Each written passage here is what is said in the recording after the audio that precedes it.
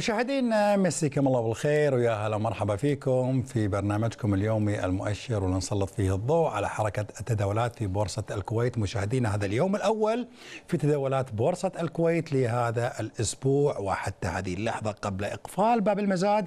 السيولة النقدية في ارتفاع واضح وصلت حتى هذه اللحظة 67 مليون دينار قريبا سوف تلامس 68 مليون دينار. نذهب وياكم سريعا إلى استديوهاتنا في بورصة الكويت لنطلع على أجواء جلسة التداول لهذا اليوم وينضم إلينا من البورصة زميلنا عايد. عايد مسيك الله بالخير. ضعنا في الصورة في هذه الجلسة ونسمع معاك جرس مساء. الإغلاق. نعم. مساء الخير يوسف مساء الخير مشاهدينا الكرام واهلا وسهلا بكم. فعلا يوسف في هذه اللحظات آه، جرس الاقفال ولاحظنا مشاهدينا الكرام كان تباين قبل الاقفال خلينا نشوف إيش صار معاكم ومع مشاهدينا ونشوف الوضع العام. راح تقول إلى الجلسة لكن هي جلسة إيجابية يعني رغم وجود عملية جري أرباح أثناء الجلسة وهذا أمر جدا طيب يعني يعود بالنفع على كثير من الشركات إن شاء الله في قادم الأيام للجني أرباح أثناء الجلسة. هذا أمر صحي ولاحظنا يعني يستمر اللون الأحمر حتى نهاية الجلسة. آه، حاليا 12 نقطة حمراء و17 نقطة للسوق الأول ونقطتين و19 نقطة للسوق الرئيسي. فيما السوق العام آسف السوق الرئيسي في المنطقة الخضراء 24 نقطة و19 نقطة. آه، واضح مشاهدينا الكرام القوة الشرائية اليوم 70 مليون. قوة شرائية جيدة 70 مليون ومتوقع جنيه أرباح مشاهدينا الكرام على كثير من الشركات القيادية ولكن الوطني يغرد عاليا بعيدا عن الشركات القيادية الوطني يغرد عاليا مشاهدينا الكرام في ظل ظل دخول قوي جدا وإيجابي في هذه الجلسة، حيث الوطني بخمس فلوس ارتفاعا والخليج يستقر فيما الدولي وبرقان وبيتك المتراجعين في هذه الجلسة. بوبيان يستقر الكويتية بفلس بعدين كانت صاعدة أكثر استثمارات وطنية كانت صاعدة المنطقة الحمراء مشاريع كذلك بفلس صعودا آه، أرزان بتراجع فلسين والامتياز بتراجع فلس وست أعشار الفلس في عقارات الكويت بسبع فلوس ارتفاعا لعقارات الكويت. اليوم عقارات الكويت وإيفا وإيفا فنادق هم الأفضل وهم الأبرز في هذه الجلسة. فيما نلاحظ الأعيان بتراجع فلسين الامتياز بتراجع فلس وست أعشار الفلس عقارات الكويت ما ذكرنا سبع فلوس المباني أربع فلوس تجاريه عقارية فلسين تراجع عن الصناعات الوطنية بفلس الكيبلات الكيبلات 34 فلس صعودا سفن 9 فلوس صعودا. بوبيان بالكيماويات وأجيليتي وزين وهيومن سوفت والجزيرة وجي إف إتش وبنك وربه وميزان وشمال الزور والبورصة والغانم جميعهم في المنطقة الحمراء فيما المتكاملة والافكو في المنطقة الخضراء. والله في هذه اللحظات صفقات كثيرة جدا قاعد تمرني صفقات كثيرة مشاهدينا الكرام قاعد تمرني ولكن اللون الأحمر أعتقد انه لون أحمر صحي. لون أحمر صحي للسوق الأول. يعني جني أرباح مستحق بعد صعود قوي جدا لهذا السوق. ولاحظنا مشاهدينا الكرام ارتفاع بدايه الجلسة وأغلب الشركات تقريبا ارتفعت ارتفاع قياسي. أغلب الشركات ارتفعت ارتفاع قياسي خاصة شركات السوق الأول. لابد لابد من عملية جني أرباح حتى يكون هناك متسع من الوقت للصعود ومتسع من المساحة للصعود في قادم الأيام. لذلك مشاهدينا الكرام أعتقد أن جلسة اليوم هي جلسة صحية في عملية جني الأرباح. ولاحظنا كذلك دخول كثير من الشركات في المنطقة الخضراء ما تحركت الفترة الماضية قاعد تتحرك كميات تداول كبيرة جدا على أكثر من شركة خاملة. هذا يعطينا انطباع بأن القادم راح يكون أفضل إن شاء الله. نشوف معكم السوق الرئيسي وضعية هذا السوق في نهاية هذه الجلسة وخاصة لبعض الشركات مشاهدين الكرام اللي فيها تداولات اليوم قياسية أمانة سواء في الصعود أو في الهبوط. خلينا نشوف بعض الشركات القيادية. أساس السوق الرئيسي في هذه اللحظات والله قاعد تمرني صفقات كثيرة لإيفا. إيفا تطلب 69 مليون بعد شوي بعد شوي بعد الإقفال حاليا راح يظهر مشاهدينا الكرام خبر إن وراح تكشف آه، شركة البورصة عن آه، الشركات والمراجعات السنوية لمكونات مؤشر السوق الأول والسوق الرئيسي حيث يتوقع وينتظر أن تشهد خروج لبعض الشركات ودخول شركات جديدة في هذه في السوق الأول أو في السوق الرئيسي. لذلك الكل ينتظر مشاهدينا الكرام ما هي الشركات اللي راح تدش في هذه الجلسة ويتوقع مشاهدينا الكرام الشركات ذات القيم العالية الشركات ذات الكميات المتداولة بالفترة الماضية هي اللي راح تدش في السوق. مشاهدينا الكرام وهذا المتوقع يعني في آه، بعد شوي الخبر راح يطلع بعد شوي وهذا المتوقع مشاهدينا الكرام. أما ال- السوق الرئيسي فنلاحظ التجاري بارتفاع الأهلي على تراجع المتحد المنطقة الخضراء الخصوصيه المنطقة الخضراء مساكن في المنطقة الخضراء عمار بتراجع تسهيلات باستقرار إيفا بصعود 11 فلس لإيفا. آه، ونلاحظ الساحل دخول على البيت في هذه اللحظة. بيتك دخول على بيتك في هذه اللحظات. الساحل بتراجع المركز المالي بتراجع الأولى والخليجي في المنطقة الخضراء بيان وأصول بتراجع كفك وكامكو في المنطقة الخضراء وكذلك الوطنية الدولية القابضه ونلاحظ يونيكاب المتراجع خمس فلوس معروضة. أيضا يونيكاب. معروضا خمس فلوس مشاهدينا الكرام فيما مدار كذلك المتراجع. الديرة ب 32 فلس صعودا ونلاحظ الصفاة المتراجعة كذلك كتاب وصكوك ونور 12 فلس نور. تمديد استثماريه صعود 87 فلس. الاماراتيه تراجع. آسيا فلس و20 فلس صعود. الراسيات ثلاث فلوس. كويت للتأمين بتراجع. وربا للتأمين. الإعادة للتأمين. أولى تكافل. وثاق المتحدة بارتفاع. وطنية العقاريه تتراجع. الصالحيه بارتفاع أربع فلوس. أجيال المتراجع. عربية عقارية بخمس فلوس ارتفاعا. وعربيه عقارية كانت صاعدة أكثر. ولكن ظهر الخبر مشاهدي الكرام طلع الخبر قبل شوي آه، إن في آه، مفاوضات لإجراء تسوية مع بنك الإمارات.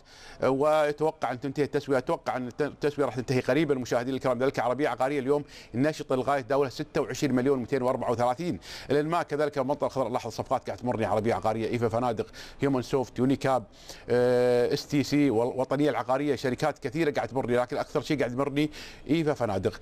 سنام بارتفاع. أعيان العقارية المتراجعه العقارية بارتفاع مزايا المتراجعة كذلك تجارة فيما أركان في المنطقة الخضراء. منشآت بأربع فلوس تراجع. دبي الاولى فلس وأربعة اعشار الفلس. آه، منازل كذلك بارتفاع عشري الفلس. ومدينه الأعمال تتراجع فلسين فاصلة سبعة.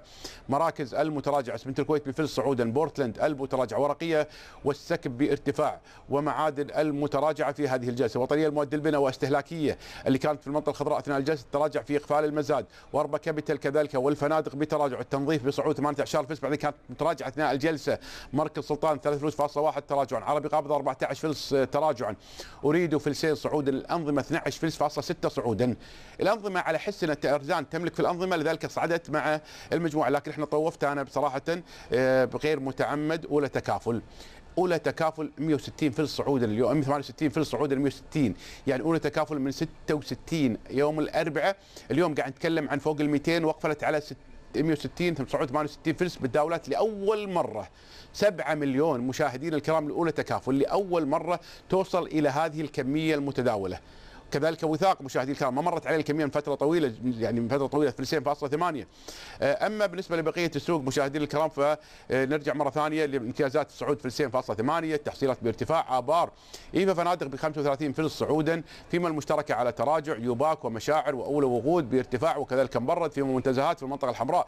السور وفيوتشر كيد المرتفعين في هذه الجلسة بكمية تداول فيوتشر كيد حوالي مليون 800 ومبرد كذلك ب 19 فلس دوله مليون 466 منتزهات تراجع 18 فلس مليون و10 اونفست كذلك يتراجع بعد صعود الأيام الماضية بمليونين و425 القابضه المصريه كذلك ترتد. ارتداد طيب من يوم الخميس واليوم بتداول 413 كذلك إس تي سي المتراجعه والمنار المتراجعه فيما جي تي سي مستقرة وأي صفقة كانت على جي تي سي سوف تذهب إلى المنطقة الخضراء. أي صفقة كانت راح تكون على جي تي سي سوف تذهب إلى المنطقة الخضراء. لذلك مشاهدينا الكرام ننهي هذه الجلسة على تراجع 12 مل... 12 نقطة و7 18 نقطة للسوق الأول. شوف مشاهدينا الكرام اثنين السوق الرئيسي نقطتين فاصلة تسعة فيما السوق الرئيسي صاعد 24 نقطة و17 نقطة بسيولة 71 مليون و247 لذلك هي سيولة إيجابية خضراء بكل المقاييس. مشاهدينا الكرام نأمل باستمرارية هذا النشاط وهذا اللون الأخضر مشاهدينا الكرام المؤشرات وكذلك السيولة في قادم الأيام. وأعتقد الأيام راح تحمل مفاجآت إيجابية إن شاء الله لكثير من الشركات اللي ما ارتفعت وكذلك بعض الشركات القياديه اللي تراجعت في هذه الجلسة وتوقع أن تعاود الصعود مرة ثانية إن شاء الله وكل الشكر لك يوسف وكل الشكر لمشاهدينا الكرام. كل الشكر لك يا عايد على هذا الإيضاح حول هذه الجلسة بالفعل إيجابية مع إن يعني إحنا مشاهدينا نلاحظ أن السوق العام مكتسي باللون الأحمر، السوق الأول مكتسي باللون الأحمر، السوق الرئيسي مكتسي باللون الأخضر، ولكن شهية المتداولين قاعد نلاحظها في الإيجابية في عملية آه، خلينا نقول اقتناص الفرص وشراء وشراء الأسهم آه، وليس يعني بالخوف انه في عملية البيع. آه، مشاهدينا يعني لو نربط الأمور في بعضها إن البورصة الكويتية أيضا البورصات العالمية وأيضا البورصات الأوروبية يعني لاحظنا أن بعد سلسلة من التراجعات طوال الجلسات الماضية عودت الأسهم الأوروبية ارتفاعها لتحقق مكاسب جديدة بعد ارتفاع أسعار النفط بأكثر من 3% وصعود أسهم قطاع الطيران والبيانات الإيجابية حول أداء الاقتصاد البريطاني. نتابع وياكم هذا التقرير ولنعود إليكم مرة أخرى. تعافت الأسهم الأوروبية من تراجع الأداء والخسائر خلال جلسات هذا الأسبوع مع الجلسة الختامية الجمعة حيث غطى اللون الأخضر المؤشرات الرئيسية بعد ارتفاع أسهم النفط بأكثر من 3% وصعود أسهم قطاع الطيران والبيانات الإيجابية حول أداء الاقتصاد البريطاني. مؤشر ستوكس الأوروبي أغلق على ارتفاع بثمانية من عشرة في المائة خلال الجلسة الختامية الجمعة منهية السلسلة من الخسائر استمرت ثلاث جلسات. مؤشر البورصة الفرنسية كاك شهد أفضل أداء يومي له منذ الثامن من ديسمبر الماضي بأكثر من واحد في المائة ارتفاع خلال الجلسة الختامية الجمعة مما قاده لتعويض الخسائر طوال جلسات هذا الأسبوع بستة من عشرة في المائة أرباح في متوسط الأداء الأسبوعي. فيما أنهى مؤشر داكس الألماني جلسة التداول الجمعة على ارتفاع يقترب من واحد في المائة على الرغم من التوقعات بدخوله في مرحلة ركود وتراجع بيانات قطاع التصنيع إلا أن ارتفاع أسهم الطاقة والنفط قاد المؤشر لتحقيق أرباح خلال جلستي الخميس والجمعة محققا أرباح أسبوعية بنصف في المئة.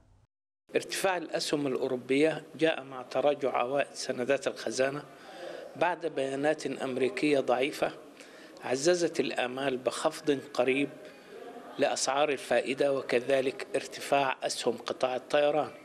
وعلى سبيل المثال إيرباص بما يقرب من 4% بعد زيادة الطلب ب 11% وارتفاع أسهم السلع والخدمات الصناعية والمكاسب بصعودها 1.7 من عشرة في المية.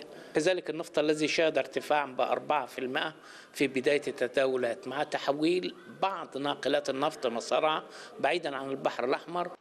وفي بريطانيا لم تكن البيانات الاقتصادية الإيجابية التي نشرها المركز الوطني للإحصاء حول نمو الاقتصاد البريطاني بعشرين من مائة في المائة خلال شهر نوفمبر كافية لتعافي المؤشرات الرئيسية لبورصة لندن على الرغم من إغلاق مؤشر فوتسي على ارتفاع في الجلسة الختامية الجمعة بستة من عشرة في المائة إلا أنه بقي في المنطقة الحمراء في متوسط الأداء الأسبوعي بثمانية من عشرة في المائة انخفاض بسبب الضغوط والمخاوف من حالة عدم الاستقرار المالي عالميا وداخليا.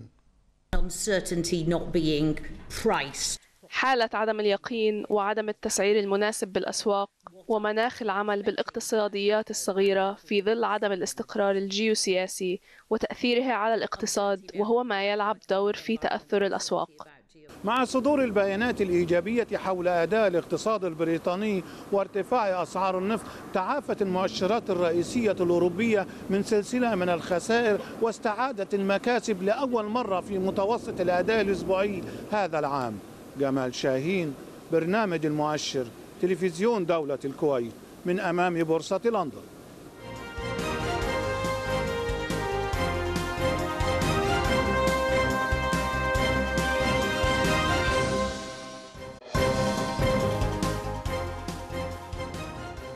يا هلا فيكم من جديد مشاهدينا للمزيد أيضا حول التحليل حول أداء بورصة الكويت يسعدنا أن ينضم إلينا في الاستديو مدير عام معهد الدراسات الاقتصادية والمالية الأستاذ فهد الصقر. أستاذ فهد بعد التحية كل يوم أحد قاعد تنورنا في الاستديو جلسة إيجابية إحنا لاحظناها مع ان اللون الأحمر مكتسي القطاع خلينا نقول السوق العام والسوق الأول، تعليقك اليوم على هذه الجلسة الإيجابية وأيضا السيولة النقدية اللي وصلت معنا إلى 71 مليون دينار. أول شيء أرحب فيك أخوي يوسف ورحب باخواننا المشاهدين. يعني أنا استمتعت في جمله ان إن السوق لا يزال إيجابي بوجود اللون الأحمر. هذه هذه نظرة إيجابية من من المتداولين بشكل إيجابي يعطينا إن هناك في إحساس إن السوق لا يزال في دفعة أمامية إلى إلى الأمام، اليوم ما ما ما يحدث طبعا بعد صعود تقريبا آخر جلستين من السنة الماضية واستمرار تقريبا أسبوعين متتاليين بصعود بشكل كبير جدا. تحدث عندنا يصير عندنا جزئين من التداولات، عندنا ما يصير في جني أرباح المضاربين قصيرين المدى خلال الأيام أو الأسابيع فنلقى عندنا جني أرباح مستحق على بعض الأسهم. والجني الأرباح هذا أكيد له مقابل في ناس من من تشتري هذه الأسهم وهي إعادة تمركز من جديد بأسعار جديدة في يفترض تكون في منتصف الطريق. فأعتقد أن عندنا دفعة أمامية. ممكن نشهد هذا الأسبوع جلستين أو ثلاثة بنفس النمط جلسة اليوم. أعتقد هذا حيعطينا إشارات إيجابية. إذا ما مشينا بشكل أفقي نلاحظ ان يوم الخميس ارتفاع السوق الأول والسوق العام أكثر من 80 نقطة والسوق الأول فوق 90 نقطة. اليوم التراجعات بسيطة جدا حتى لم ترتقي إلى حتى 25% من ارتفاعات يوم الخميس. هذا يعطي إشارة أن لا يزال القوة الشرائية الموجودة. شفنا السيولة بدأت تتسارع من منتصف الجلسة إلى نهايتها بشكل آه، جيد. آه، هذه السيولة وصلنا إلى 70 مليون أو أكثر في بداية الأسبوع. تعطي كذلك دلالات آه، يعني جيدة. كنا نتوقع السيولة تكون من 60 إلى 65 مليون عشان يعطينا يعني نفس حق الأسبوع باقي الأسبوع. ولكن بداية أسبوع قوية جدا. هذا ممكن يعطينا آه، نشوف أسهم جديدة خاملة تبدأ تتحرك خلال آه، الأيام القادمة خاصة في السوق الرئيسي ومؤشر الخمسين. ما ما راح نقول عليها جلسة متباينة لأن يعني أكد زميلنا عايد إن إنت مثل ما أنت عارف زميلنا عايد متواجد دائما في آه، بورصة الكويت وفي استديوهات الكويت يغطي لنا ال- الاحداث أول بأول لكن أكد زميلنا عايد إن الإيجابية يعني مستمرة في تداولات هذا اليوم مع إن عندنا قطاعين مكتسين باللون الأحمر. اليوم كان عندنا تطبيق شركات انتقلت من السوق الرئيسي إلى السوق 50 ومن 50 إلى السوق الأول. هل هذا لا يد في عملية الإيجابية أو التباين اللي لاحظناه البسيط في تداولات هذا اليوم؟ آه، هذا صحيح. يعني اليو- اليوم آه، نجحت هيئة اسواق المال شركة البورصة والقائمين على يعني وجود تقسيمة لهذا السوق وحوافز لهذه الشركات وتعطي فرصة يعني للشركات لتطوير على الأقل خدمة التداول آه، للاستفادة من المستثمرين. اليوم آه، الانتقال أو إضافة شركات على الأقل السوق الأول أكيد حيصل له مكانة كبيرة جدا يعطي تنويع للمحافظ الأجنبية أو المحافظ المحلية بتنويع محافظهم بشكل إيجابي آه، وإعادة تمركز من جديد وتوزيع تو- توزيع هذه المحافظ. آه، كذلك نشوف السوق الرئيسي أو المؤشر الخمسين نفس ال- نفس الفكرة حيصير في نشاط نسبيا أكثر بإدراج شركات جديدة وانتقال شركات إلى المستوى آه، يعني رقم واحد إلى رقم ثلاثة إلى رقم أربعة، هذا كله أكيد حيعطي تعزيز للشركات وحافز جديد للسنوات القادمة بتطوير الاقل حركة التداولات اللي أعتقد هيئه أسواق المال وشركة البورصة وجميع القائمين على تطوير السيولة بشكل كبير جدا، عندما تصير عندنا نسبة دوران عالية جدا هذا أكيد حينفع أو يدفع السوق إلى مستويات جديدة. يعني أستاذ فهد السيولة النقدية ما راحت بعيد. يوم الخميس 75 مليون واليوم عندنا 71 مليون. ودائما أنت تقول لنا أستاذ فهد أن السيولة النقدية سواء كانت بارتفاع إذا كان السوق أحمر أو السوق أخضر لها دلالات يعني كثيرة. تعليقك اليوم على السيولة النقدية وشنو دلالات هذه السيولة في 71 مليون دينار؟ أعتقد اليوم بداية أسبوع بهذه القوة سيولة وكما ذكرت بس قبل قليل شفناها تزداد في منتصف الجلسة إلى نهاية الجلسة وبدات بدأت تتسارع كحركة مومنتوم فيها عزم على نهاية الجلسة. هذا عطى إشارة لاحظنا في منتصف الجلسة هناك تباين رجوع لمؤشرات إلى اللون الأحمر ثم نشوفها باللون الأخضر خاصة في السوق الأول هذا كلها عامل يعني يعني حركة النوع من التذبذب أعطى فرصة لجني الأرباح من ناحية ومن ناحية أخرى لإعادة تمركز من جديد فأعتقد هذه كلها حيعطينا دفعة إن شاء الله إيجابية آه، لل- لل- للقادم. باقي الأسبوع إن شاء الله إذا ما استمرينا عند 70 مليون أو فوق ال 65 مليون على الأقل إلى 75 مليون أعتقد حنشوف يعني أرقام إن شاء الله جديدة على على المؤشرات. الأسبوع ال- الماضي كان حافل بالنسبة للمتداولين أستاذ فهد مثل ما أنت عارف واليوم يعني عندهم ثقة صارت في التداولات ما فيهم خوف إنه ياخذ السهم يمكن إنه ينزل أو إنه يعني خلينا نقول إحنا في الكلام العام يعلق فيه السهم بالنسبة للمتداولين. لكن إحنا عندنا أخبار جيوسياسية واقتصادية إلى هذه الارتفاعات وهذه الصعدة الواضحة لبورصة الكويت. نقدر نقول منها أستاذ فهد حصول سوق الكويت الأوراق المالية على شهادة الأيزو؟ آه، نعم يعني أول شيء نبارك لهيئة اسواق المال وشركة البورصة وجميع القائمين اليوم على يعني هذا التطور يعني اللي شهدناه في السنوات الماضية وخاصة بعد خصصت آه، شركة البورصة والتعاون الجماعي لجميع الأطراف آه، وعلى رأسهم طبعا هيئة اسواق المال، اليوم هذا التطور بالقوانين واللوائح والنظم آه، وتطبيقها بشكل إيجابي آه، وخلال هذه السنوات الماضية نبارك لهم هذه الشهادة. أعتقد هذا أكيد حيعزز مكانة سوق الكويت الأوراق المالية في المنطقة، كذلك يعززها بثقة المستثمر الأجنبي في المرحلة القادمة، وهذا أعتقد إن شاء الله حيدفع السوق إلى إيجابية أكثر خلال المرحلة القادمة. نعم مدير عام أحد الدراسات الاقتصادية والمالية أستاذ فهد الصقر شكرا جزيلا لك على تواجدك الدائم معنا في برنامج المؤشر في كل يوم أحد وهذه المعلومات الثرية حول تداولات بورصة الكويت وأيضا البورصات العالمية في شكل عام.